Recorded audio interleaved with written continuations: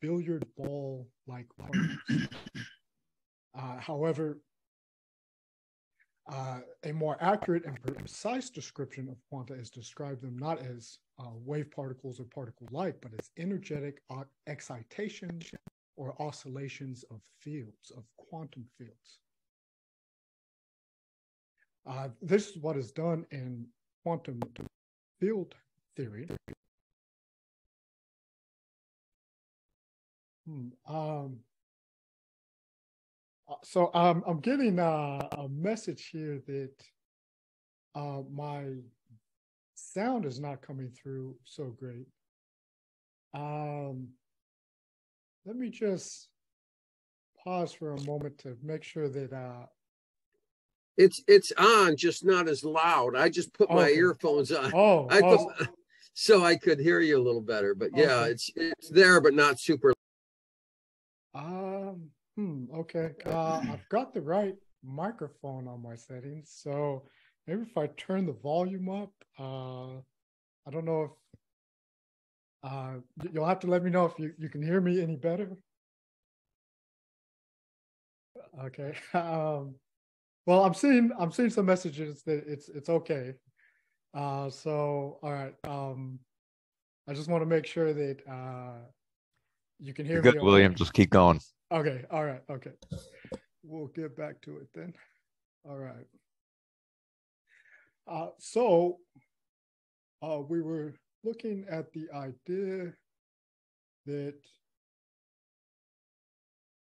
um, so uh, we shouldn't be looking at quanta as particles or as um, wave particle like little objects, but instead as excitations of a field, uh, often called a, a quantum field, because these are quantized harmonic oscillations of uh, these fields.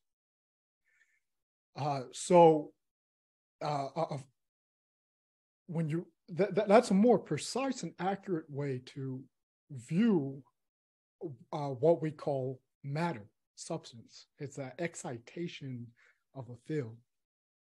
We could actually even get um, more precise than that, that it's uh, uh, a, a, vortex uh, dynamic in a uh, uh, super liquid medium.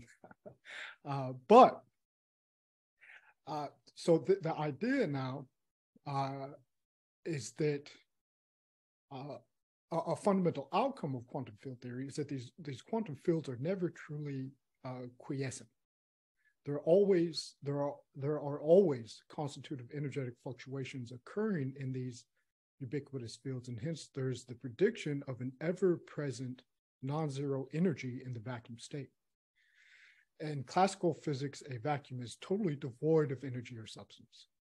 In modern physics however all forces and associated particles are field-like and their manifestation is a result of excitations of the respective quantum field as such, according to quantum field theory, even in a vacuum, there are quantum fields.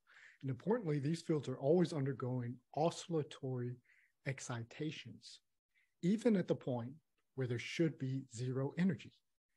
That is to say, there are constitutive zero point energy fluctuations. Uh, these quantum vacuum energy fluctuations are not trivial, they're non trivial. For example, uh, as we are seeing in this simulation, in the theory of quantum chromodynamics, vacuum fluctuations are what gives hadrons, like the proton, their mass. So this is a visualization of a quantum field theory calculation showing virtual particles in the quantum vacuum, and specifically for the strong interaction. Uh, even in supposed empty spaces, vacuum energy is non-zero what appears to be the ground state in one region of curved space will look different from the perspective of an, an observer where the spatial curvature differs. differs. Uh, so, um, uh, so th th this is depicting calculations of the energy fluctuations of the QCD vacuum generating a quark anti-quark gluon condensate.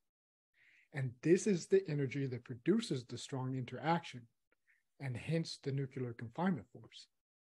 So immediately, uh, our quantum vacuum fluctuations are in conventional modern theory are what give particles their mass.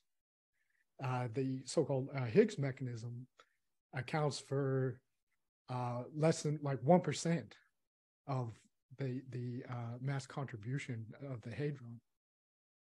Uh, I think I, I see a a question. Um, Ken, did, did you have a question?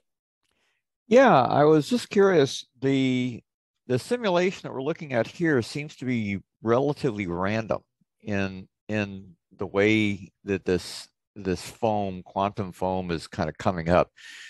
Would you say that, according to the models that you and Nassim are working with, that this dynamic would be accurate, or would you would your model have a little bit more of a consistent vorticular flow? That's a really good point you make. A really good observation. Yeah, because um, you know I, I think that even with this particular uh, simulation, uh, it's more of a example that's being given uh, because um, e- even within the more conventional uh, theory uh, approach uh, within QCD, the fluctuations are much more organized within the proton itself. Uh, and certainly uh, within the work that we've done uh, with uh, with Nassim Haramein, uh, the uh, fluctuations are highly coherent. in fact, um, and that coherence would be observable if we we had a more precise or accurate depiction being shown here. It would be a vortex uh, th- th- it wouldn't be these random fluctuations. You would be seeing a like literal like tornado or hurricane looking uh, vortex structure. Uh, and and actually, so you know that that's the same uh, calculations that we have uh, are uh, a highly highly coherent uh, state of those energetic oscillators and actually also in QCD, uh, it, it, um, it is seen as a, a sustained spatiotemporal pattern of the fluctuations in a vortex-like structure. And so what really distinguishes free space, empty space, from a particle where it looks like something's there, you've got the same energy density the same amount of vacuum fluctuations, roughly, more or less. Uh, but the difference is that when those are highly coherent and in a sustained spatiotemporal pattern, like a vor- vortex, particular motion, then it looks like there's something there. It looks like there's a particle there. And that's what distinguishes it from the, the more random fluctuations of free space, which would look more like this. It, it seems like going into this topic would be a whole lecture unto itself. So I don't want to take away from what you're talking about, but I think it's a fascinating area. Yeah, and it's it's a, a really salient point though to to, to, to um, bring up. So yeah, yeah, but uh, definitely that could be a, another lecture, another discussion. Exactly. Stuff. Yeah, yeah. Thank you, William. Yeah, yeah. Thank you for the observation.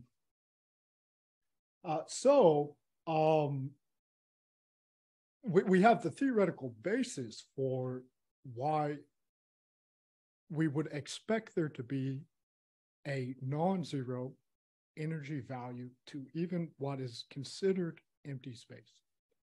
Uh, so we're understanding, we're beginning to understand that there really is no such thing as empty space. Uh, empty space has uh, a uh, intrinsic non-zero energy, the zero point energy density. Now, we know that this is the case. Uh, the substantive and energetic nation, nature of the quantum vacuum is real. And these are a few examples of how we know that these energetic fluctuations of space uh, are